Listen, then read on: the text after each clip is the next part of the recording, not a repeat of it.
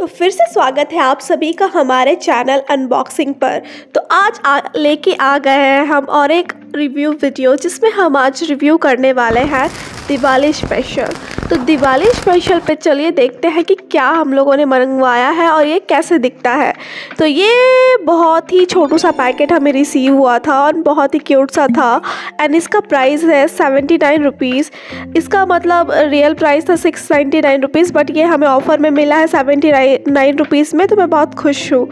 तो हमने मंगवा लिया है एलईडी स्ट्रिंग लाइट्स जो कि है लेक्टॉन्स कंपनी का।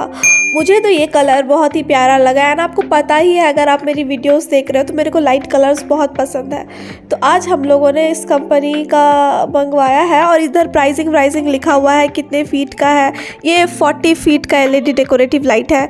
ये indoor outdoor for decoration purpose use किया जा सकता है यू नो एंड फिर इसका मैंने कलर चुना है वार्म लाइट जो हम लोग को एक रोमांटिक सा पीसफुल सा इन्वायरमेंट देगा। ये बेसिकली हम लोगों ने डेकोरेटिव पर्पज़ के लिए मंगवाया है एंड ये फोर्टी फीट का है। एंड फिर इसका मतलब लेंथ ठीक ठाक ही है लाइक ट्वेंटी सेंटीमीटर के बाद बाद शायद ट्वेंटी या ट्वेंटी फाइव सेंटीमीटर के बाद बाद एक लाइट है। एंड बहुत ही प्यारा देख ही सकते हो कितना वार्म है इसके you you know know, light में उफ, दिल आ गया मेरा तो इसको देखते से इतना रोमांटिक सा वाइब था इसको देखने के बाद। और हम लोग आपको दिखाएँगे कि ये रूम में पूरा फिट इन होने के बाद कैसा लगता है। आप देख ही सकते हो कितना सही लग रहा है, और ये लाइट्स ऑफ़ करने के बाद भी आप देख सकते हो।